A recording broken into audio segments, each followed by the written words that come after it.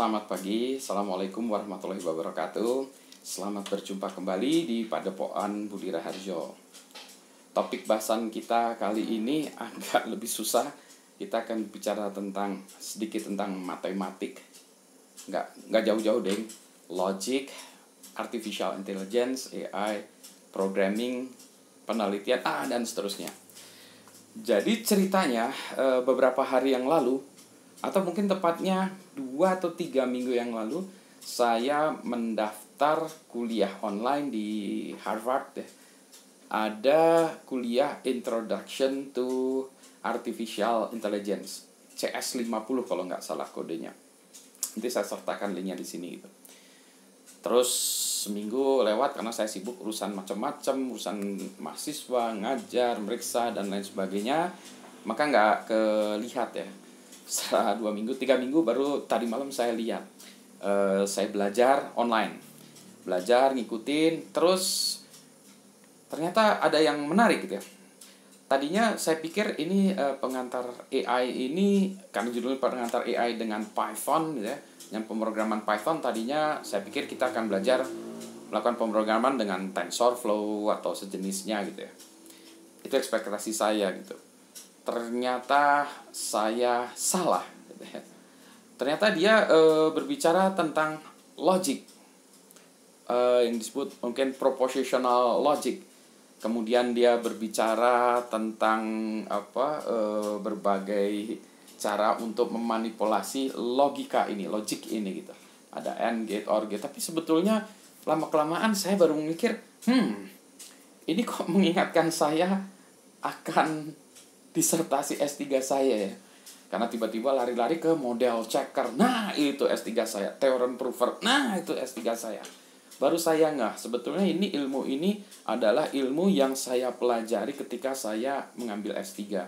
Jadi S3 saya e, terkait dengan formal verification untuk rangkaian asinkron. Nah, mumet lah pokoknya. Tapi di ketika saya melakukan S3 itu saya harus memiliki dasar formal logic yang tidak saya punyai. Jadi saya betul-betul berjuang setengah mati, harus belajar sana sini, ngambil kuliah ke matematika, komputer science dan lain sebagainya. Jadi saya kuliah sampai turun ke dasarnya saya harus belajar dengan buku-buku ini gitu.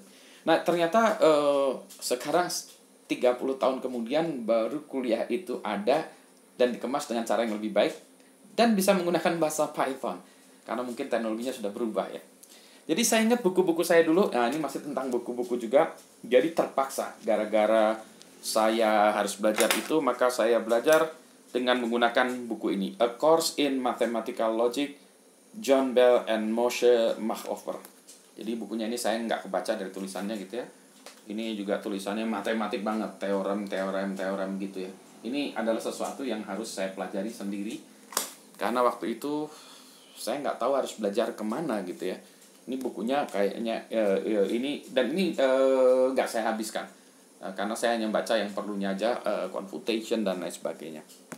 Itu ini buku matematiknya pusing gitu ya. Uh, jadi kemarin pas kuliah-kuliah itu awal-awalnya bagi saya tuh lancar karena dulu saya terpaksa ngambil S3 itu. Nah di akhir S3 saya saya terpaksa harus meng, uh, menggunakan sesuatu yang disebut teorem prover.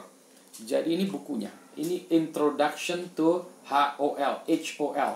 HOL is automated theorem prover. Jadi uh, introduction to HOL, a theorem proving environment for higher order logic. Eh, higher order logic.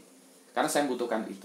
Jadi kemarin baru belajarnya adalah prepositional uh, propositional logic itu mungkin first order ya, ada first order, second order, terus lagi sampai higher order. Di dalamnya isinya adalah theorem prover, theorem prover.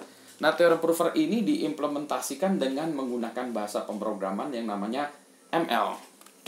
Ya, e, nah saya terpaksa e, belajar sendiri. E, ini bahasa pemrograman ini beda dengan yang lain-lainnya karena ini adalah termasuk e, functional language. Functional language beda ya dengan kalau kita belajar menggunakan Python dan lain sebagainya itu bukan functional language tapi ini functional language dan untuk ini terpaksa saya harus melakukan unlearn atau merupa, melupakan cara programming saya karena programming saya e, berbeda dengan cara ini. Susah setengah mati gitu ya. Oh ini masih ada harganya. 45 dolar 45,60 dolar. Buset ya. Jadi ini uh, ML for the Working Programmer LC Paulson. Ini saya terpaksa harus belajar ini. Kemudian secara teori saya juga turun-turun lagi harus belajar proses algebra. Ini nggak nggak saya tekunin karena saya akhirnya berhenti ke situ. Nah ini juga uh, sama logic for computer science ini sama seperti uh, yang Bell and Markover. Kalau Bell and Markover itu benar-benar logic ya.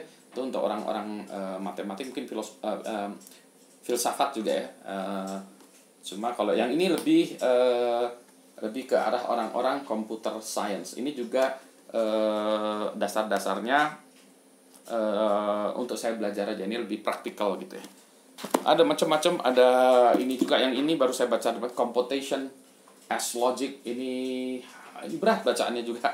Saya tidak selesai karena alhamdulillah saya udah lulus. Ini tahun 94 bukunya ini buku ini 94 bahkan ini saya belinya di Singapura malah.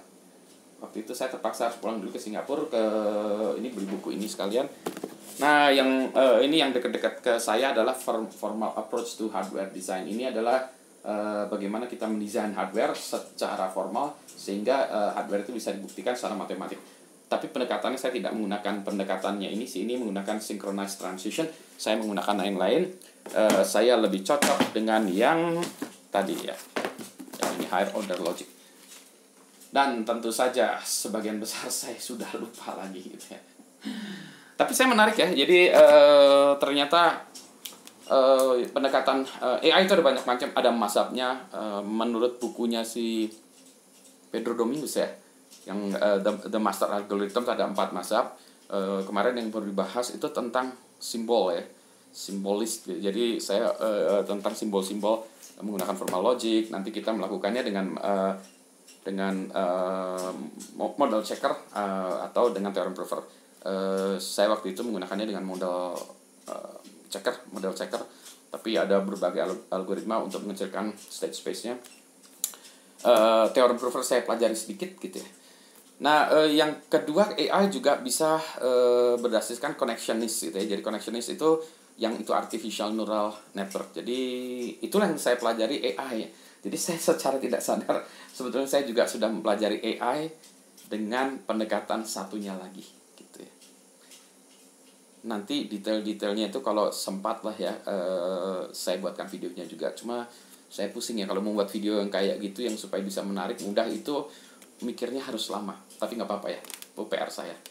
Eh, demikianlah cerita tentang saya belajar AI kembali. Sampai berjumpa kembali. Assalamualaikum.